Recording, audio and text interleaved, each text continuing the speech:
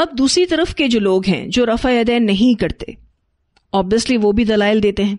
तो उनके दलाइल का भी थोड़ा सा हम तजिया कर लेते हैं कि आखिर वो क्या कहते हैं। जिन अहादीस से रफ़ दैन ना करने की दलील ली जाती है, उनका मुख्तसर तजिया यहाँ बयान किया गया है।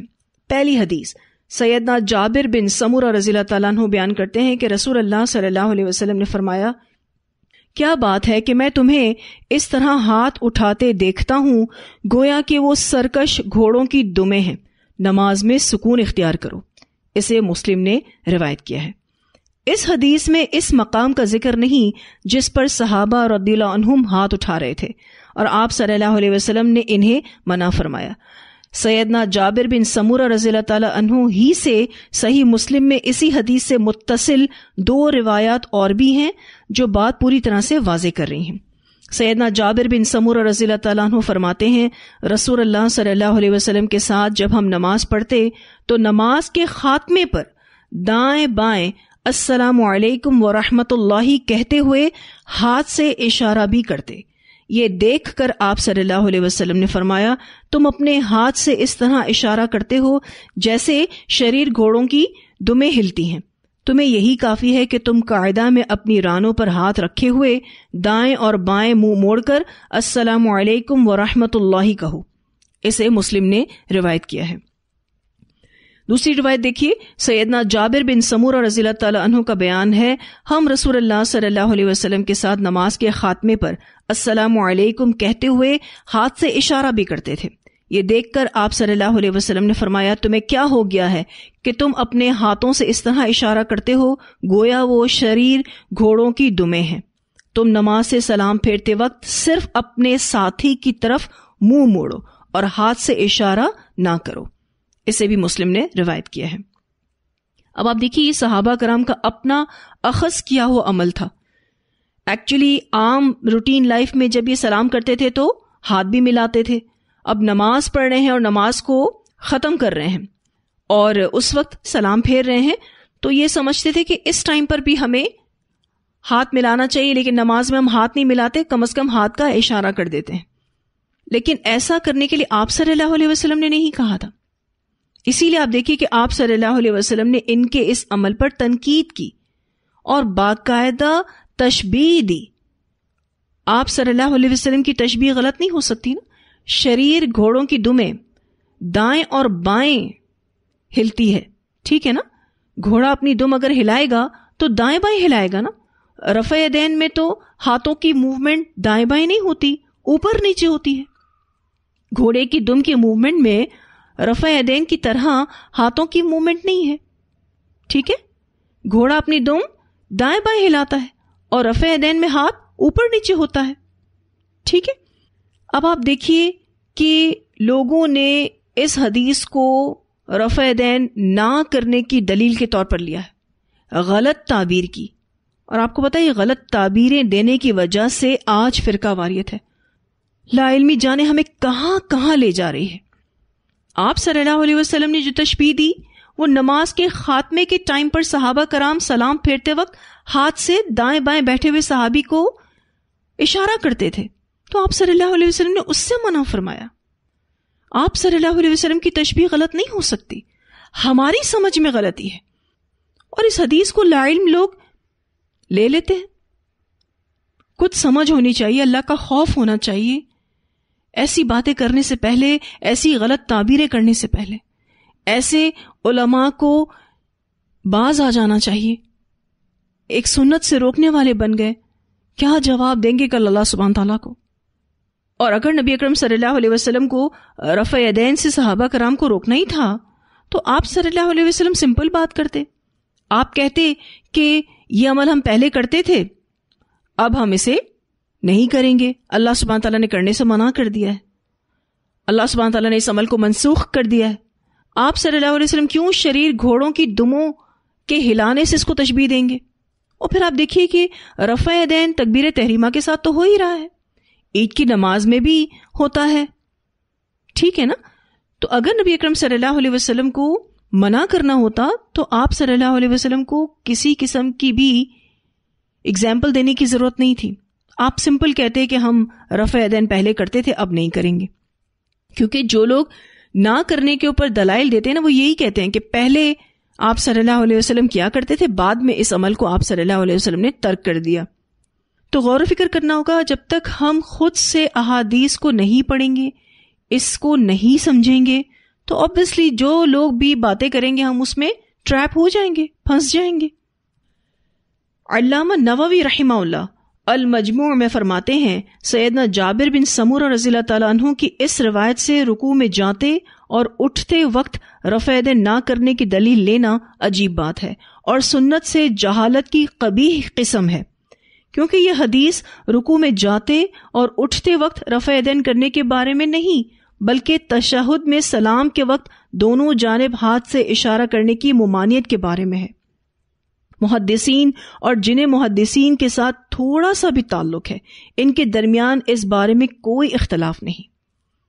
इसके बाद इमाम नववी रहीमाउल्ला इमाम बुखारी रहीमाउल्ला का कौल नकल करते हैं कि इस हदीस से बाज जाहिल लोगों का दलील पकड़ना सही नहीं, क्योंकि ये सलाम के वक्त हाथ उठाने के बारे में है। और जो आलिम है, वो इस तरह की दलील नहीं पकड़ता, क्योंकि ये मारूफ और मशहूर बात है। यानी ये बात कोई छुपी ढकी नहीं है। ये तो बहुत नोन बात है।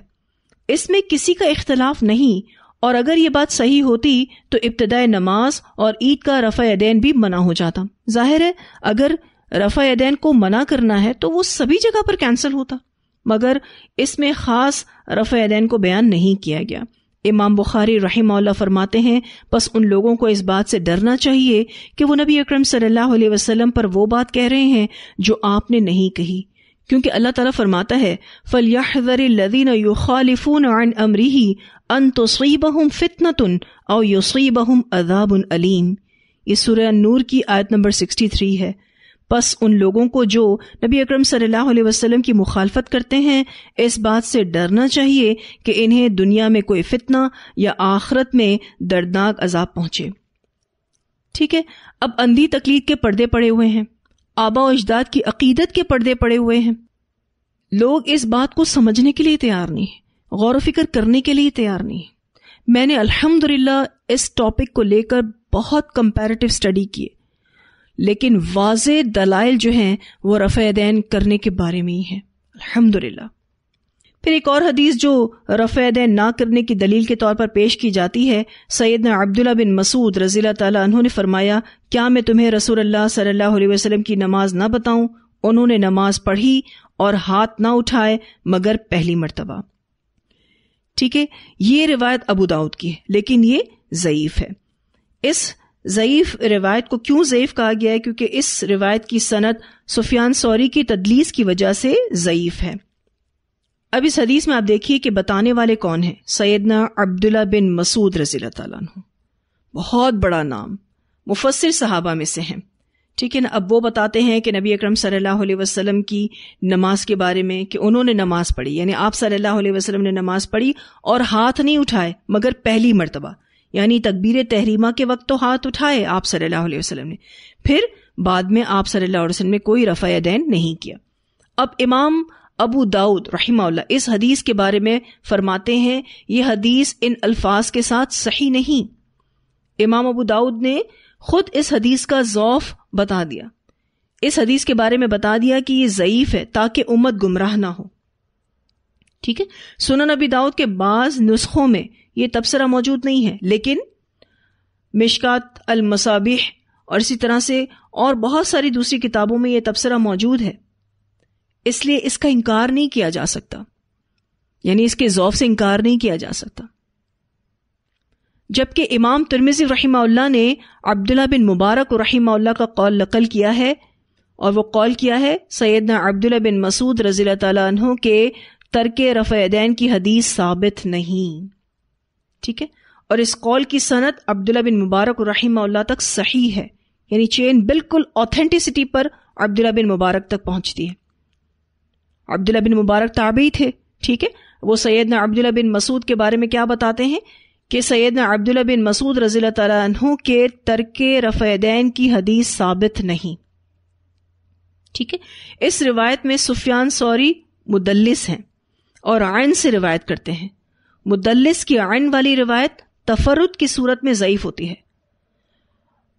हदीस में ज़यीफ़ हदीसों में तदलीस का चैप्टर आता है, जिसमें यह बताया जाता है कि एक रावी अपनी सनत के ऐप को छुपाने और ज़ाहरी शक्ल को हसीन बनाने का काम करता है। उसमें क्या करता है? वो रावी का नाम चेंज करता है या जो ज़यीफ़ रावी होता है, उसका नाम हजफ कर देता है। तो ये जो रिवायत है ना, इसमें सुफियान सोरी मुदल्लिस है और आयन से रिवायत करते हैं। मुदल्लिस की आयन वाली रिवायत, तफरुद तफरुद यानी अकेले होने की सूरत में ज़यीफ होती है। अगर इसको सपोर्ट दूसरी सही हदीस से मिल जाए तो अभी भी इस हदीस के बारे में या इस हदीस में जो हुक्म होता है उसको लिया जाता है, क्योंकि सही हदीस ऑलरेडी मौजूद होती है। ठीक है? लेकिन अगर ये हदीस एक ही है तो फिर उस सूरत में ये ज़यीफ होती है। मशहूर मुहदस शेख अलमलमी अलयमानी रहीमल्ला अच्छा इनका पूरा नाम अब्दुलरहमान बिन याहिया अलमलमी अलयमानी है। वो अपनी मशहूर किताब अल तनकील में इस रिवायत को सुफियान सौरी की तदलीस की वजह से मालूल, यानी इल्लत वाली, करार देते हैं। वो कहते हैं, ये ज़यीफ़ हदीस है। और इस हदीस का इन्होंने जो नाम रखा है, वो मालूल हदीस है। बीमार हदीस है। ठीक है? अब ये जो हदीस सैयद अब्दुल बिन मसूद वाली हमने पढ़ी, उसकी पूरी क्लेरिफिकेशन इस किताब में आपको वाजे कर दी गई। अब एक और हदीस, जो रफ़ ना करने के दलील के तौर पर पेश की जाती है। सैदना बरा रज़ी तु कहते हैं कि, मैंने रसूल अल्लाह सल्लल्लाहु अलैहि वसल्लम को देखा, आप सल्लल्लाहु अलैहि वसल्लम जब नमाज़ शुरू करते तो दोनों हाथ कानों तक उठाते ला यऊद, फिर नहीं उठाते थे। ये रिवायत अबू दाऊद में है और ये भी ज़यीफ है। ये रिवायत यजीद अबी जियाद ज़यीफ के जौफ और इख्तलात की वजह से ज़यीफ है। अब आप देखिए कि ये जो रावी है, यजीद अबी जियाद, बूढ़ा था, बहुत ज़्यादा बूढ़ा था और ये जो लफ्ज़ आया है इख्तलात, आप देखिए हाशिए में नीचे कुछ क्लेरिफिकेशन दी होती हैं। यानी आप जो हदीस पढ़ रहे हैं ना, उसका आखिर में जो नंबर है वो अगर आप देखें उस नंबर को आप नीचे हाशिए में मैच करें तो आपको क्लेरिफिकेशन मिलेगी। ये जो हदीस अभी हमने पढ़ी अबू दाऊद की, इसके पास आप देखिए, चार नंबर लिखा हुआ है ना? हाशिए में नीचे देखिए, चार नंबर की वजाहत है कि यह रिवायत यजीद अबी जियाद ज़यीफ के जौफ, यानी बुरा होने की वजह से और इख्तिलात की वजह से ज़यीफ है। इख्तिलात कहते हैं, ऐसी बात जो खलत मलत हो, ठीक है? ऐसी बात जिसमें शुबा हो जिसमें मिक्सिंग हो आमेजिश हो, ठीक है? इस वजह से ये ज़यीफ है। यानी ज़यीफ को ऐसे ही कोई मजाकन ज़यीफ नहीं कहता। यानी कोई ये नॉन सीरियस काम नहीं है कि किसी भी हदीस को ज़यीफ कह दिया गया, किसी भी हदीस को सही कह दिया गया। ठीक है? बाकायदा तहकीक की बिना पर ये कमेंट्स आते हैं कि ये हदीस सही है, ये हदीस हसन है, ये हदीस ज़यीफ है। ठीक है? नबवी रहीम फरमाते हैं कि यह हदीस ज़यीफ़ है। इसे सुफियान बिन उना इमाम शाफी रहीम इमाम बुखारी रहीम के उस्ताद, इमाम हमैदी और इमाम अहमद बिन हम्बल जैसे आइमा हदीस रहमत ने ज़यीफ़ करार दिया है। क्योंकि यजीद बिन अबी ज़ियाद पहले ला यऊद नहीं कहता था। यानी ये अल्फाज जो है वो पहले नहीं कहता था। अहले कोफा के पढ़ाने पर इसने ये अल्फाज बढ़ा दिए। इसके अलावा यजीद बिन अबी जियाद ज़यीफ यानी बूढ़ा और शिया भी था। यानी इसका तो मसला ही दूसरा था। आखिरी उम्र में हाफजा खराब हो गया था। नेज ये मुदल्लिस भी था, यानी अपनी चेन्स को खूबसूरत बनाता था।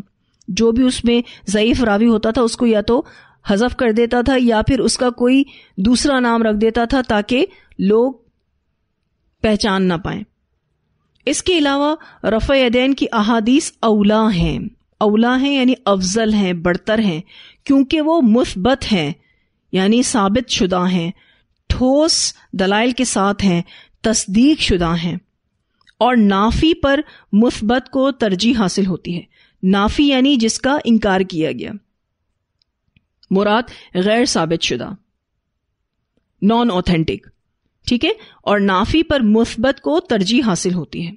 ऑब्वियसली नॉन ऑथेंटिक को आप वैल्यू नहीं करेंगे ऑथेंटिक की मौजूदगी में। ठीक है?